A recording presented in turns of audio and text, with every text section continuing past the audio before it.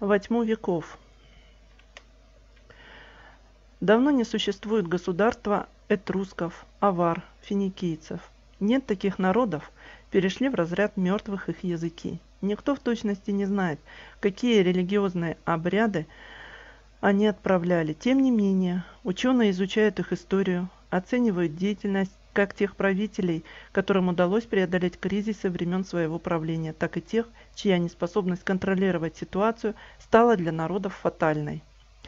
Портреты исторических личностей и канва событий выкладывается из отдельных камешков как мозаика, а многочисленные лакуны, занимающие порой до 95% исторического полотна, заполняются на основании представлений конкретного исследователя о том, как должны были развиваться события и что могло повлиять на конкретные решения конкретных людей.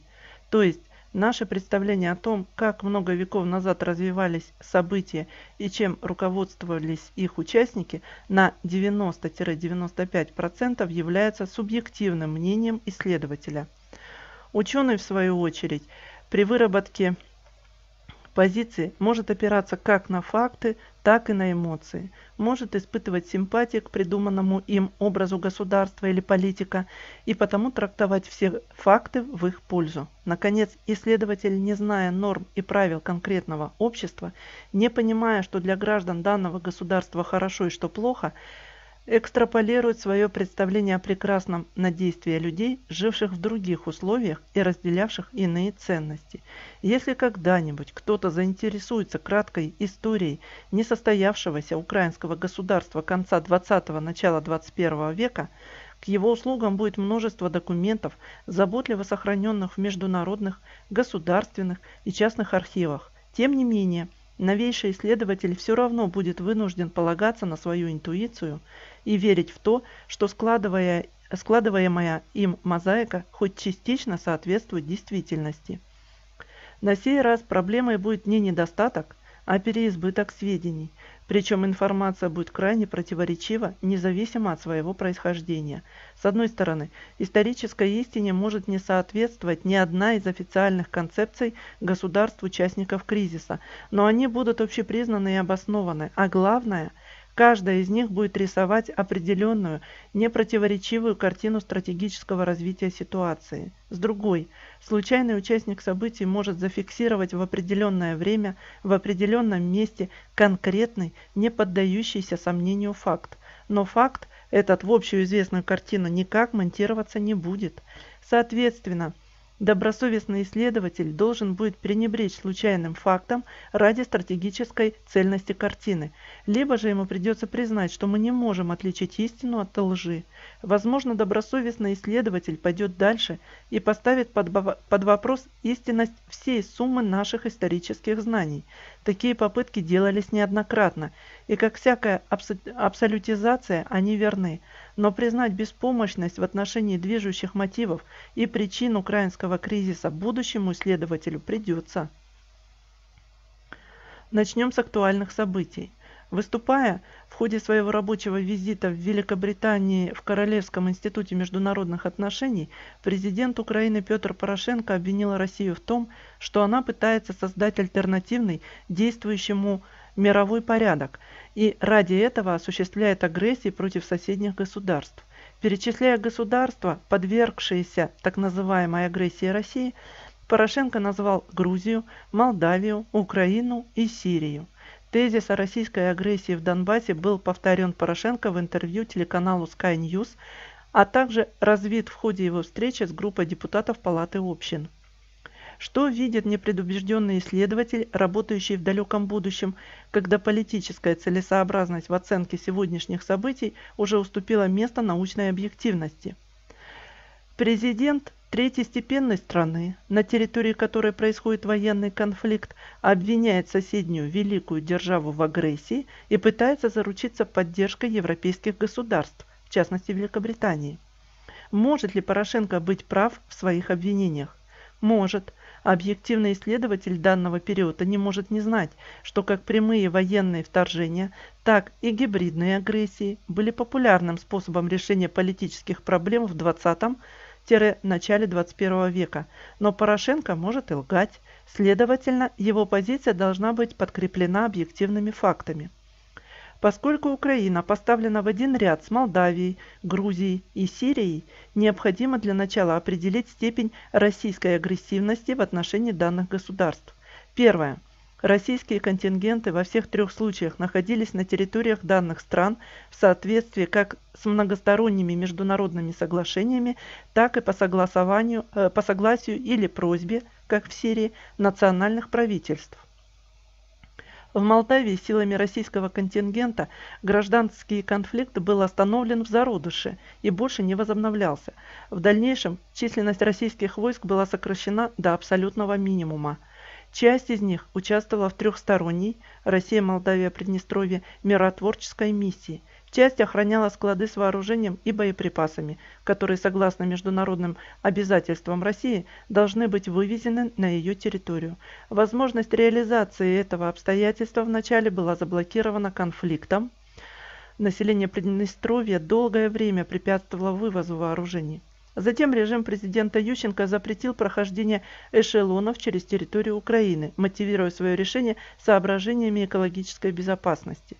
По мере того, как часть оружия и боеприпасов удавалось постепенно вывозить, охранявший склады контингент сокращался.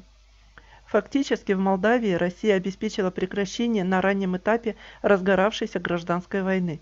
Сохранение формальной территориальной целостности Приднестровье до сих пор признается Москвой территорией Молдавии, а также добросовестные посреднические усилия с целью достижения политического урегулирования кризиса – только благодаря усилиям Москвы Молдавия до сих пор не только сохраняет шансы на создание с Приднестровьем конфедеративного государства, но и существует как независимое государство.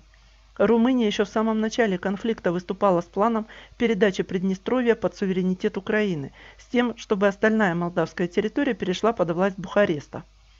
Аналогичным образом складывалась ситуация в Грузии – Россия помогла заморозить абхазский и осетинский конфликты и не спешила с признанием независимости этих государств, а российские миротворцы охраняли не только абхазов и осетин от грузин, но и грузинские отклавы на территориях самопровозглашенных республик. Опять-таки, именно и только усилиями Москвы была остановлена гражданская война, и Москва же пыталась наладить диалог, ведущий к политическому урегулированию кризиса. Если, если бы не провокационный курс Саакашвили, который не только попытался развязать войну, но и напал на российских миротворцев, находившихся на территории Южной Осетии в соответствии с Дагомысскими соглашениями 1992 года между Россией и Грузией, то конфликт находился бы в подобном приднестровскому замороженном состоянии до сих пор. В обоих случаях Россия создала все условия для мирного разрешения кризиса путем достижения компромиссных политических договоренностей. Насколько стороны смогли этими условиями воспользоваться – вопрос к ним. Ни Москва, ни кто-либо другой не в состоянии договориться вместо них. Наконец, в Сирии Россия вообще воюет против тех же террористов, против которых воюют США, Турция и немножко другие участники международной коалиции – Российские войска, в отличие от остальных самозванцев, приглашены в страну законным правительством Сирии. Общее мнение мирового сообщества заключается в том, что окончательное политическое урегулирование должно быть достигнуто в ходе межсирийского диалога без вмешательства извне. Россия единственная, единственная не выдвигает предварительных условий для начала этого диалога. Она не отказывает в участии в послевоенных выборах ни одному политику, ни одной политической силы, силе, кроме тех, которые признаны террористическими всем мировым сообществом. Таким образом, если непредвзятый исследователь воспользуется только примерами, приведенными самим же Порошенко, и примет как данность его утверждение, что Россия играет на Украине такую же роль, как в Сирии, Грузии и Молдавии, то придется признать, что роль России на Украине исключительно конструктивна и направлена на разрешение кризиса за счет внутреннего украинского политического ресурса, без вмешательства извне кроме международных посреднических усилий, известных как Минский и Нормандский форматы. Но у него в запасе будут не только эти примеры. Порошенко посетил Лондон 18-19 апреля, а 19 апреля Международный суд ООН в Гааге вынес промежуточное решение по иску Украины к России, отказав Киеву в принятии обеспечивающих мер по иску. Поскольку Киев предъявил Москве претензии в финансировании террористов на территории Украины, практически суд хоть окончательное решение еще и не вынесено, уже дезавуировал украинские претензии. Таким образом, с точки зрения международных норм, Россия не только не нападала на Украину, но даже не финансировала внутриполитических оппонентов Киева. По сути, суд подтвердил гражданский характер конфликта на Украине, о чем Россия все время говорит – Правда, в виде утешительного приза для Киева суд все же призвал Россию обеспечить права крымских татар, а также изучение в Крыму татар, э, крымско-татарского и украинского языков всеми желающими. Но и здесь непредвзятый исследователь быстро обнаружит, что пожелание Международного суда ООН, выполненное Россией задолго до начала процесса. Последнее традиционное обвинение, которое Порошенко предъявлял России – касалось нарушения минских договоренностей. Однако это договоренности между Украиной и ДНР и ЛНР. Россия может способствовать их выполнению при наличии доброй воли сторон, но никак не может их нарушать, не будучи их участницей. В то же время и в те же даты Александр Валентинович Турчинов, секретарь СНБО Украины, чьи полномочия во время заступления на пост в 2014 году были определены специальным законом, при этом они были настолько расширены в плане контроля над силовиками, что сегодня никто не знает, есть ли у них вообще предел. Заявил, что украинские силовые структуры должны быть готовы силой восстановить власть Киева в Донбассе и попытаться не проскочить российскую границу. Как должен оценить данную ситуацию беспристрастный исследователь, живущий в далеком будущем и не имеющий возможности разобраться в тонкостях современной международной политики и внутриукраинских отношений? Доступные ему факты говорят, что агрессором является Украина. Причем ее высокопоставленный чиновник даже угрожает напасть на Россию, пусть в завуалированной, но достаточно прозрачной форме. Этот чиновник, Турчинов, исполняя три с половиной месяца в 2014 году обязанности президента, будучи параллельно спикером Верховной Рады, лично отдал приказ о начале гражданской войны, которую назвал антитеррористическая операция. Когда он возглавил украинское государство, украинская бронетехника заезжала, а снаряды залетали на российскую территорию. Российские пограничные переходы подвергались обстрелам из минометов и стрелкового оружия. Значит, можно верить, что и сейчас он не шутит и готов начать войну. А как же Порошенко? О нем же в источниках написано, что он президент мира – что ж, наш исследователь еще поработает в архивах и найдет упоминание неких маргинальных украинских политологов о существовании в Киеве партии войны и партии мира. Вот здесь-то у ученого пазл сложится, элементы мозаики лягут на свои места. Порошенко – президент мира – сломленной партии войны во главе с Турчиновым, подумает исследователь. Поэтому номинальный лидер Украины так неубедителен в ходе своих выступлений в британской столице. Поэтому его долгое время избегают руководители европейских государств, а те, кому все же приходится встречаться – ограничиваются протокольными банальностями. Поэтому и уровень его мероприятия в британской столице соответствовал бы уровню не самой представительной парламентской делегации, прибывшей в формате пиджачного туризма погулять по Альбиону под предлогом решения важнейших государственных проблем, но никак не уровню главы государства. Поэтому в Киеве анекдоты констатировавшие провал визита Порошенко, рассказывали еще до его начала. И во всех этих предположениях он будет прав. Порошенко не хочет и никогда не хотел конкретно войны или мира. Он данными категориями вообще не мыслит. Порошенко желал стал, стать президентом Украины, чтобы конвертировать политическую власть в финансовый успех. Это ему удалось.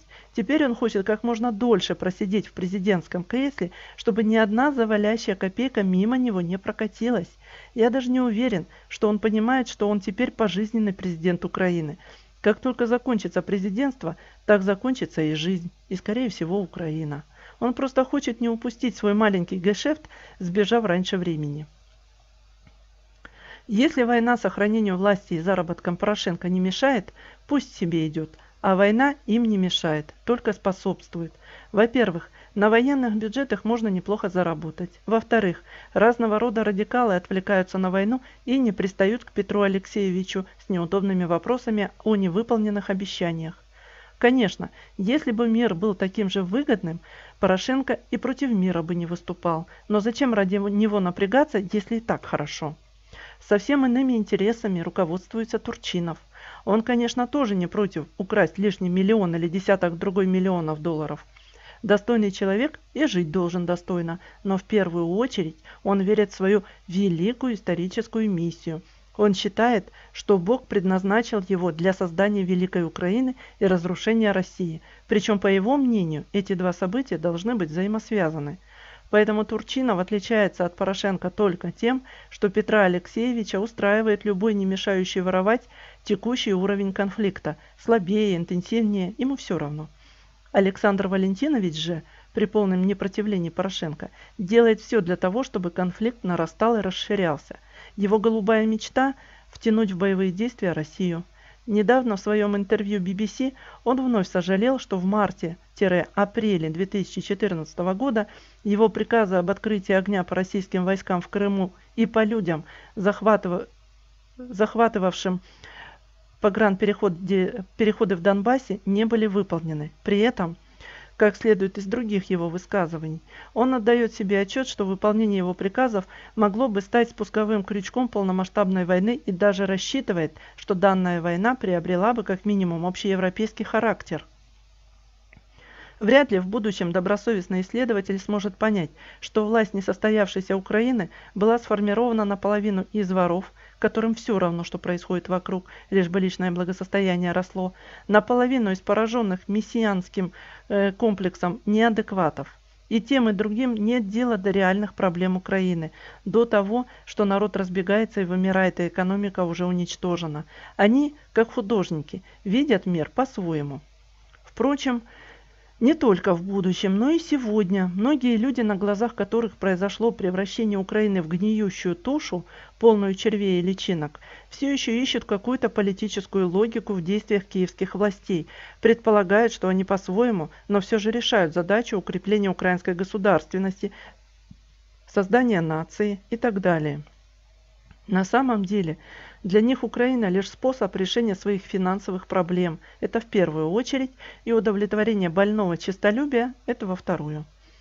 Любой Майдан является сборищем агрессивных маргиналов, хоть бомжей, хоть поэтов, хоть политиков, жаждущих отомстить обществу за свою невостребованность и потешить свое эго, хоть маленький, но начальник, как говорила одна моя знакомая о своем сыне, дослужившемся в советской армии до младшего сержанта. Вот они и тешат, вот они и мстят. А государственные соображения здесь ни при чем. Я еще в ранние 90-е, когда Порошенко был начинающим кондитером, видел, как украинские политики выступают и в британском МИДе, и в парламенте, и в том же Чесом Хаусе. Как ни прискорбно, ничего нового Петр Алексеевич не сказал. Впрочем, Александр Валентинович тоже не оригинален. Создать на месте российской Великую Украинскую империю призывал еще Корчинский в конце 80-х. Ростислав Ищенко, президент Центра системного анализа и прогнозирования специально для актуальных комментариев.